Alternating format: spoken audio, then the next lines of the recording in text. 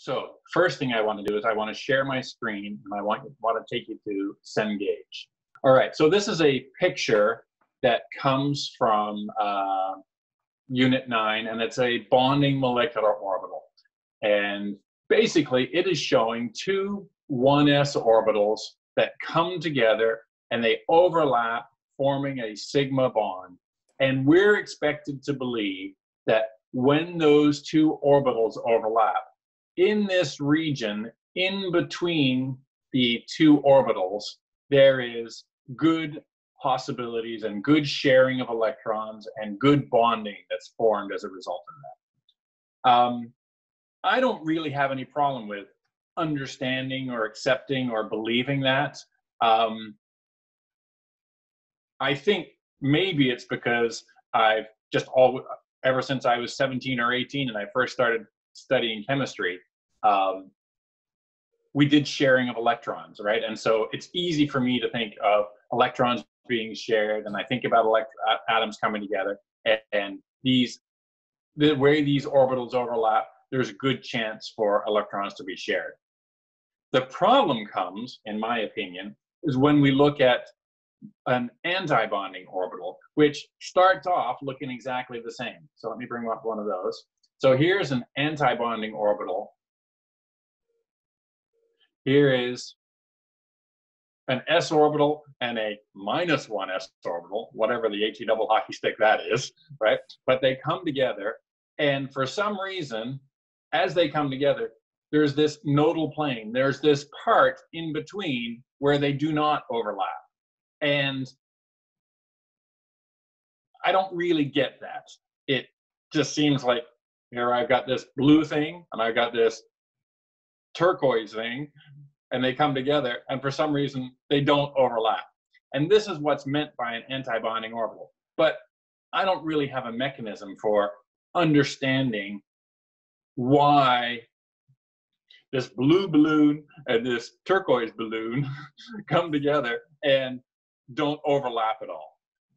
And so that's what I think is that one one part of at the heart of not of students not being able to get to uh, bonding and anti-bonding orbitals. And so I want to show you a couple of things that um, might make might help make sense to it, might help make sense of it. So let me stop that share for a second. Let me come back here and pin a video. Okay, all right, so um, in physics, in physical science, uh, one of the things that I learned about was destructive and constructive interference. Constructive.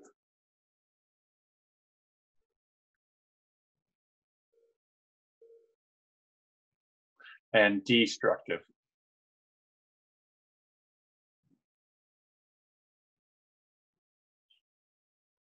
Do you have any memories of learning about those things, Kevin? Um, I think I vaguely remember it. Yeah. Yeah, so you probably fit exactly into the same category as almost every Chem 140 student. You might have seen it, and you, but you vaguely remember it. And so um, I'm going to share the screen, and I'm going to show you a couple of pieces of uh, video clips, which maybe you'll take the uh, the clips and add them into the the comments or into a way that students can uh, link to these, but I'm just going to bring them up here in a second. I'm not going to play the video for you, but if, if somebody wants to uh, uh, click on the link and watch the whole video, they can. But if I back up here a little bit in this video, it shows two waves on top of each other. There's a blue one and a, and a purple one. And they show how those waves can be superimposed upon each other. And so the, these two waves, they're identical, they're superimposed on each other. And if we start adding those two waves together, we get this green line, a super big positive wave of the same frequency, but of twice the amplitude. Okay? I'm okay. gonna, as they keep on going through this video, they bring up Let's see if I can find it easily. That's the same one. now they brought up this second wave, and you'll see that where it has a peak, the blue wave has a trough. And where it, where the purple wave has a trough, the blue wave has a peak. It's the exact same frequency, it's just off by a little bit, off by exactly half a wave, I guess, half a wavelength. And as they bring them together, you can see that they're superimposed. And when they put, when they add these two waves together,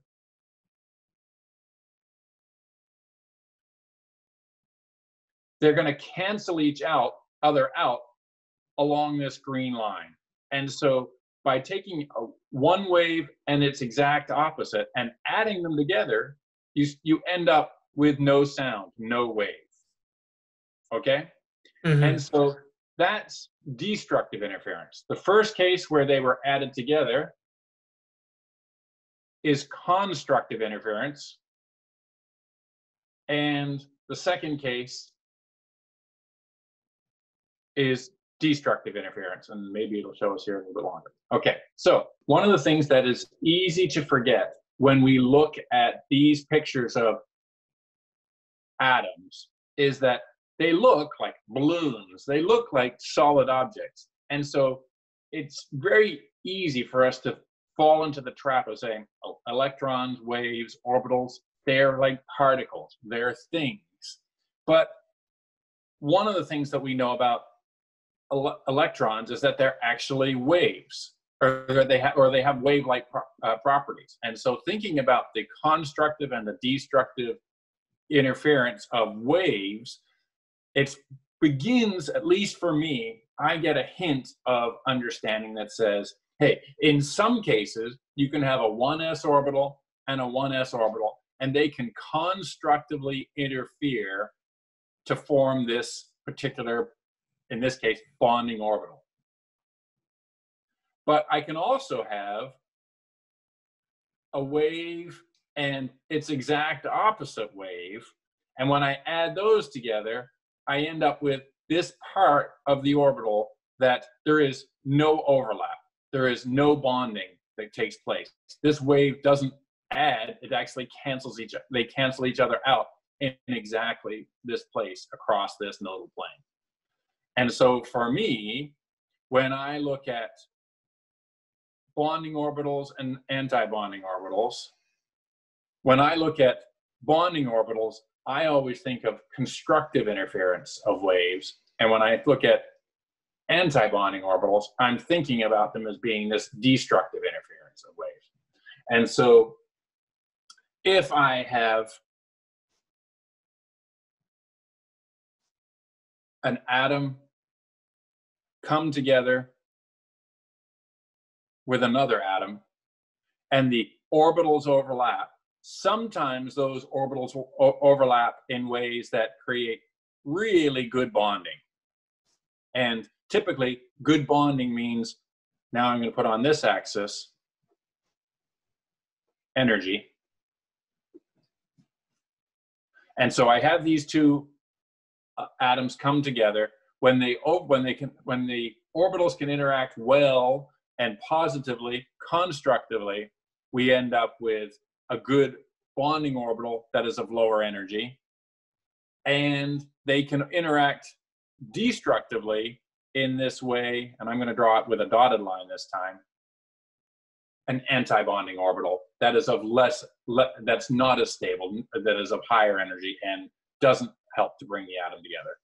And so we you will see in this course in the text in ways of thinking about how atoms with their electrons that are made up of waves come together that as at this atom and this atom come together they the orbitals can overlap to form this nice bonding orbital down here in my mind via this via something equivalent to constructive interference and they can combine destructively to form this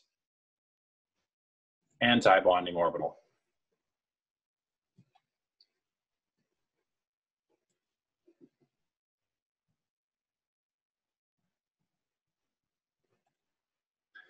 How does that sound so far, Kevin?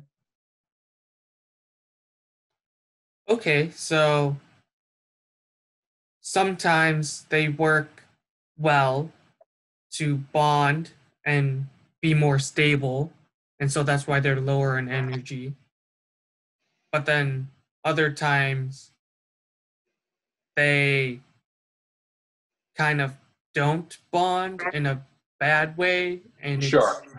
And it's less stable it's it's more energetic Yes, yes. And it's um, all of those things are true. So let's pretend that I have something with one elect one electron in it, okay, and something else with one electron in it. What we, what's what are those things? Well, we know they're hydrogens, right? So one of the things that I know, and you know, and probably every student in our course knows, that hydrogen forms a very nice H2 molecule. And according to this uh, molecular orbital theory of bonding, these two hydrogens come together and they can overlap such that they form this nice bonding orbital. Oh, this bonding orbital can hold one, two electrons. And so hydrogen will bond with another hydrogen because we put two electrons in this bonding orbital.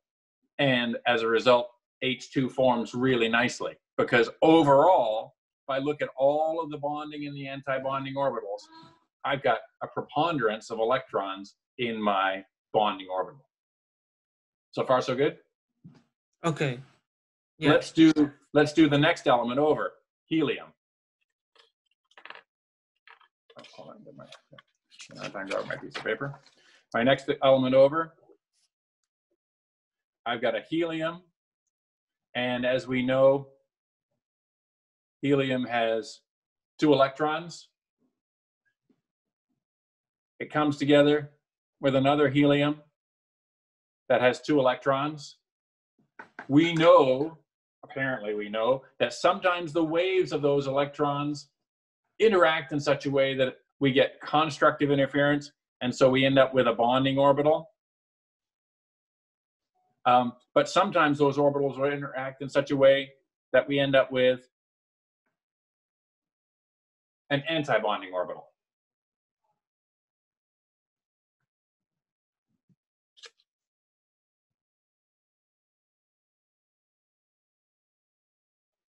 Okay?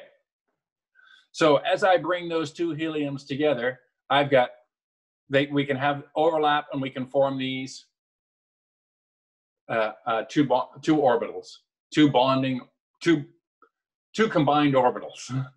And look, I've got four electrons to put in here. So I'm going to put in one, two down here. Oh, that looks really, really promising. I've got my two heliums can put two electrons in here into the bonding orbital. That should help hold them together. But I haven't used up all the electrons that I have available. I have to put up two in here as well.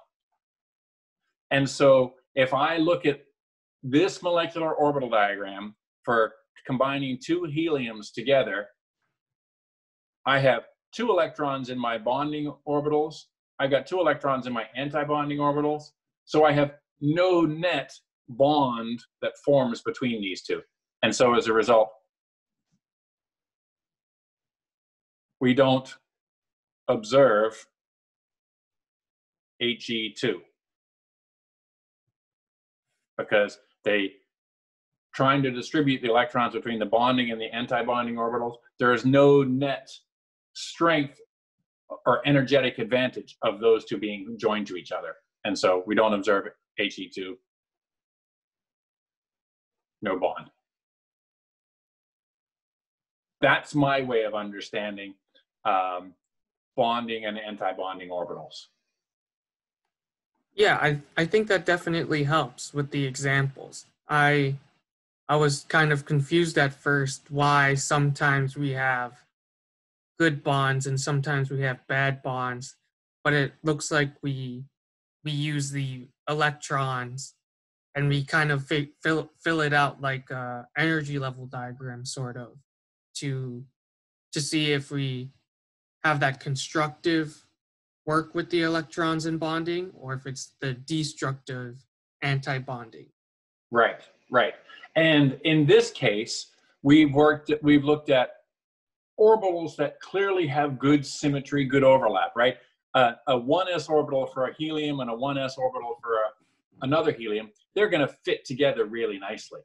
But then you can imagine that if we had uh, something with some pi bonds or, or some p orbitals over here trying to interact with this helium, we're going to have not as good interactions.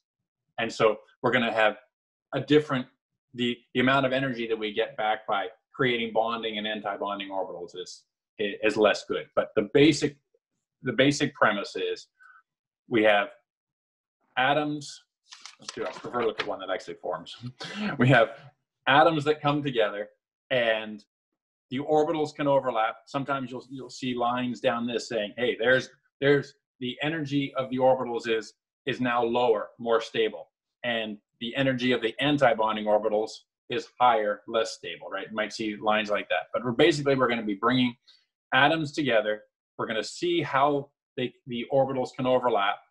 And if they overlap well, then we can get a bonding orbital and an anti-bonding orbital through constructive and destructive interference. And then we look at how many electrons do we have available to put into making that particular compound. And look, oh, we've got two that are in the bonding orbital, none that are in the anti-bonding orbital.